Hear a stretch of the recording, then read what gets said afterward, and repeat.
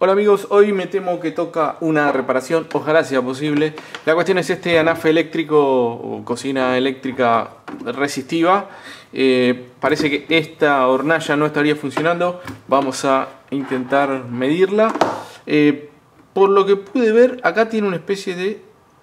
No, ahora no lo escucho. Anteriormente escuché un, como un clic. Este sí. Pero... Se supone que esta es la que funciona. Ah, y esta se supone que no. Bueno, no importa. Se supone entonces, tenemos dos resistencias de alta potencia. Estamos hablando, creo que 1500 watts esta y 700 esta otra. Y em, cada una tiene este control. Acá debe tener un termostato bimetálico o algo así. Bueno, ya a temperatura corta. Así que lo primero que vamos a ver efectivamente si... Eh, es verdad que una de las hornallas no funciona. Bueno, acá ya tengo 70 ohms. Que probablemente, y esto es un problema, esté pegado el termostato de esta. Acá tiene un neón. Eh, y esta, cuando prendo, no hace nada. Bueno, no vemos variación de... Pero lo que no me gusta es que este por algún motivo quedó pegado. A ver, ¿qué pasa si yo lo enchufo? Así como está. vamos a enchufarlo. Bueno, ahí se ve. Si efectivamente prende la luz. O sea que esta estaría funcionando. Por más que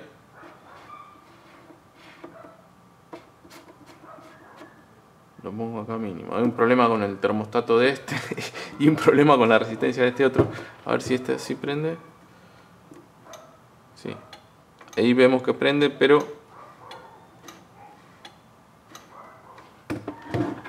A ver si calienta. Esta sí calentó y esta nada. Esta está fría. Pero bueno, esto es un problema. Yo creí que ahí en mínimo eh, directamente tendría que apagar, pero no, no apaga. Un problema con el bimetálico este. Grave, ¿eh? Bueno, no sé cómo funciona, pero se supone que si la pongo en mínimo, bueno, o tendría que tener una posición de apagado. Ah, bueno, ahí apagó. Ahí se escuchó. Sí, me parece que habría que regular un poco mejor este termostato. Voy a esperar a que corte otra vez. A ver, vamos a un poquito. Ahí cortó, sí. No me deja muy tranquilo. Bueno, y veamos, efectivamente ahora sí tendría que tener esto circuito abierto. Ninguno de los dos está activado. Ahora vamos a hacer la cuenta. Efectivamente acá nos da eh, resistencia alta, infinita, y si activamos esta no se mueve de acá. Así que es probable que esté quemada esta resistencia lamentablemente. No sé si se consigue el repuesto aunque vamos a desarmarlo y ver qué nos encontramos adentro. Quizás es un problema con el bimetálico o algo algún contacto. Y esta ahí activó efectivamente 70 ohms. Podemos, eh, perdón, sí, sí, 70 ohms. Podemos hacer la cuenta de qué potencia o corriente tenemos Ah, intentemos hacer la cuenta. Eh, suponga que tenemos 220 volts acá en Argentina, dividido 70 ohms, redondeando, tendríamos una corriente de 3,14 amperes, casi pi. si multiplico esto ahora por 220, quiero saber de qué potencia es este. Sí, aproximadamente 700 watts acá, ya está caliente eh, en este. Pero el problema es este otro, así que, bueno, intentemos desarmar tenemos un fusible térmico que este fusible térmico por lo que veo solo está puesto en serie con el primer disco. Con este de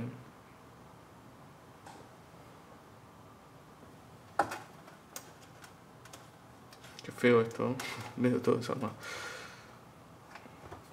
Así que quizás, porque fíjense, acá tenemos la alimentación, ¿no es cierto? Supongan, por ejemplo, que, no sé, este es el neutro y el rojo el vivo. neutro va hacia el bimetálico. El termostato y del termostato va hacia la resistencia y además del neón que debe tener también una pequeña resistencia por ahí. Eh, y el vivo o fase va directo. Quizás sea al revés, bueno, da igual.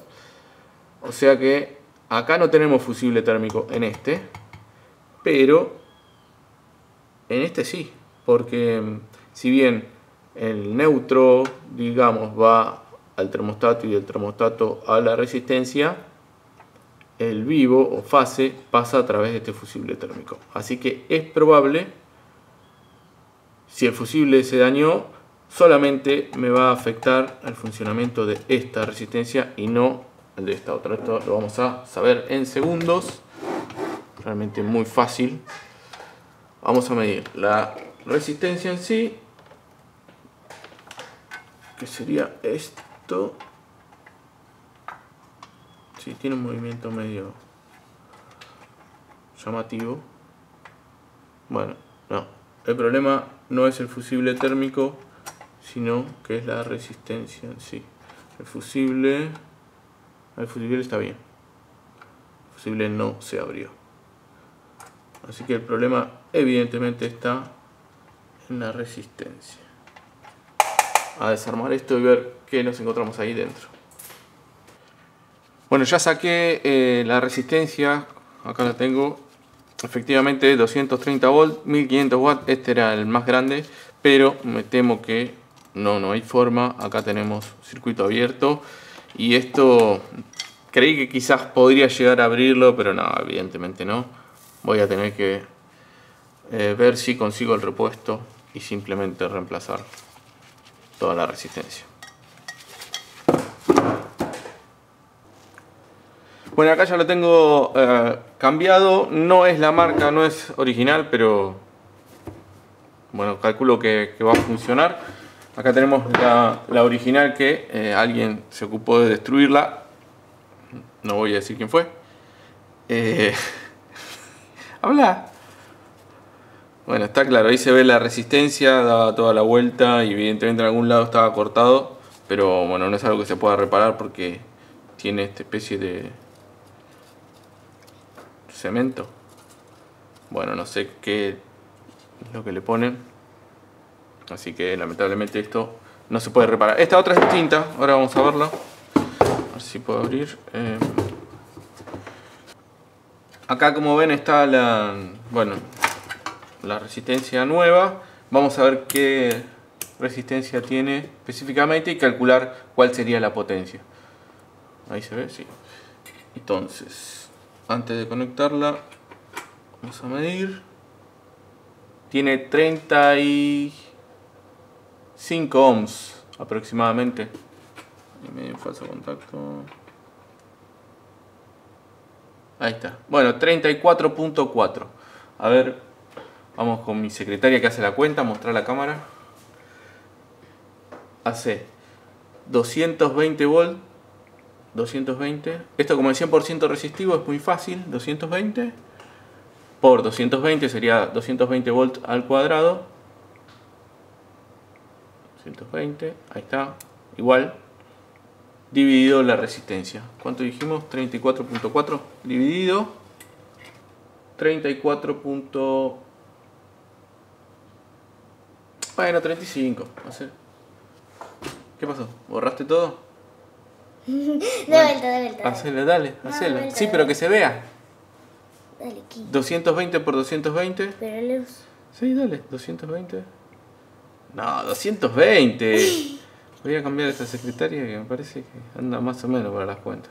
No, pero dale este. Dale. Dividido 35. 35 ohms. Más o menos ahí tenemos la potencia serían 1382 watts de esta de este anafe así que bueno creo que funciona, funcionará bien, espero. Vamos a probarlo ahora con el medidor. Lo bueno es que al ser 100% resistivo no tenemos que tener en cuenta el factor de potencia ni nada raro. Así que vamos a armarlo y medirlo.